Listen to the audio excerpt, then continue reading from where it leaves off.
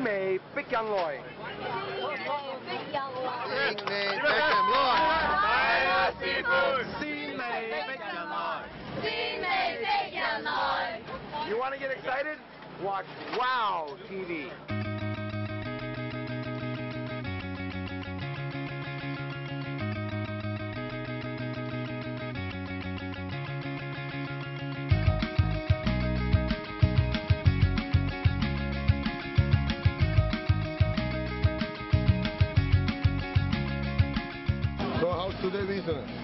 Okay, I'm just tired.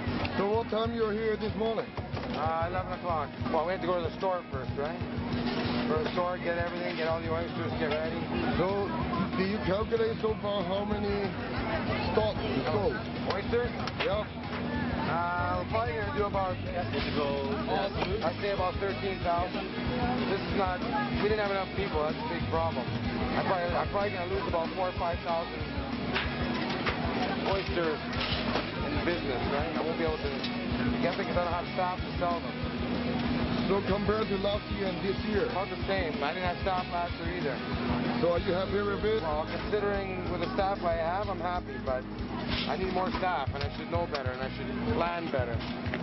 So I can't blame nobody but myself. But I did have staff that told me they're coming and they never showed up, or last minute they said they can't come. You know, you you figure they're coming, you don't call somebody else, right?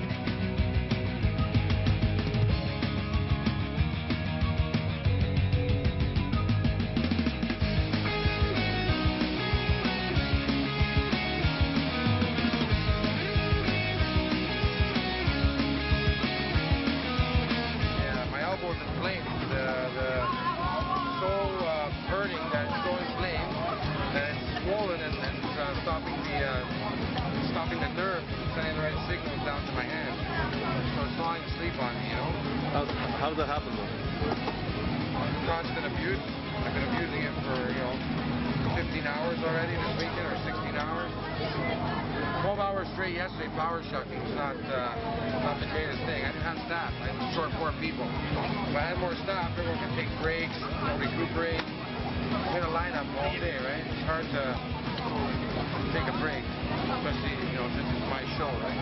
Exactly. You know what I mean? Chris, tell me, what's the best part of the, you know, doing stuff like this? exposure. People start to get to know you. You get credibility. You you actually give them faith. They try it one time, and then after a while, they get to know, hey, these guys are good. They don't screw around. Yeah, sometimes when I come here, people eat oysters for the first time. They get so excited. Their facial expressions, it just says, wow. So when you see that, how can you not enjoy it, right? Yes, I know I just created a new customer. I know I just got somebody that never tried something before to try something different. I know they enjoyed it. That's that's part of the personal satisfaction, you know. We don't come here for money, that's for sure. We're going to bring them to our store and let them know there are things available you never thought you could get in a market. There are things available you never thought that you could get on a regular basis fresh. We want to bring something to market, something different, give people options, let them know what seafood's really supposed to taste like because we bring it in in a super fresh state. You know, giving them, giving them something straight out of the sea, something where they don't even have to cook it, you know, eating it raw most natural form.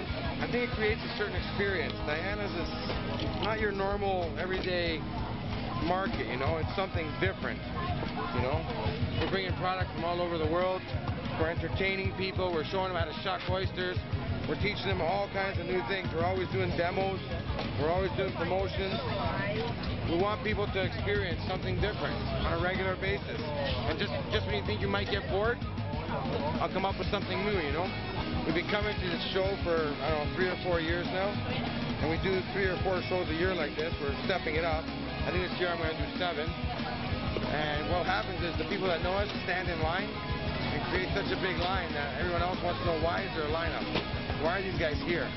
What's so good about what these guys do? So they stand in line too. And they try and then they're hooked. And it's, it's like a religion after, you know? They got to come back to my store all the time. And I got to keep on stimulating them. Can't, can't, can't let them get bored, you know what I mean? When they're tired of Pao you got to bring them Singzi. When they're tired of Singzi, you got to give them Hoi Tam. When they're tired of Hoi Tam, you got to give them so- soft shell crabs. You know, like keep on something new. I brought something new this in the last year or so. Shrimps from Maine, and uh, they had never seen anything like that before. They started eating it, now they're all hooked.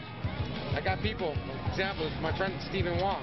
He comes in, he orders 15, 20 pounds at a time because it's only in season January and February. So, you know what? I think there's always something new all the time. Every month something's coming up.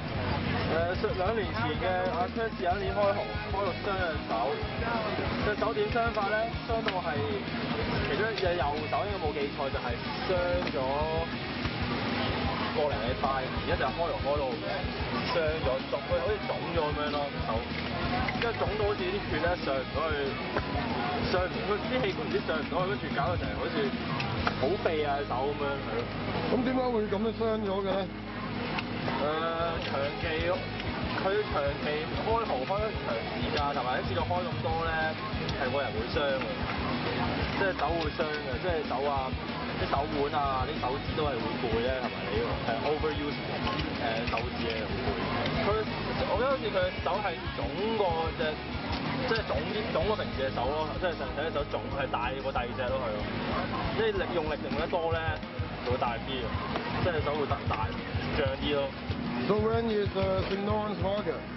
The Lawrence, uh, Taste of Lawrence is next week, next Saturday and Sunday. I think they're going to be Friday night, but from 8 till 11. I think uh, from noon till midnight on Saturday, and then from I think uh, 11 till 6 on Sunday. To be some other Chinese vendors there too. Waze, Tofu, this guy, Defy, I don't know what he's doing. Some other lady's doing octopus. So it should be interesting. There'll be a lot of Mid- Middle Eastern people there too. A lot of like shawarma and and stuff going on. But 200,000 people. Gonna be a lot of people. So I think it'll be an interesting thing. So it's going to be better than this, right? No, different, different. I won't sell that many that many oysters because I don't think there's gonna be that many Chinese there. But next year, next year will be packed with Chinese. I'm gonna I'm gonna promote it myself. I advertised already, but I don't think we're gonna get that many people. Next year, more people will come. You know, we'll do more promotional, bring more people there. 如果仲想知道 Steven 同埋 Chris 有啲咩好介绍送俾大家嘅话，广告之后继续留意我哋鮮味逼人来啦。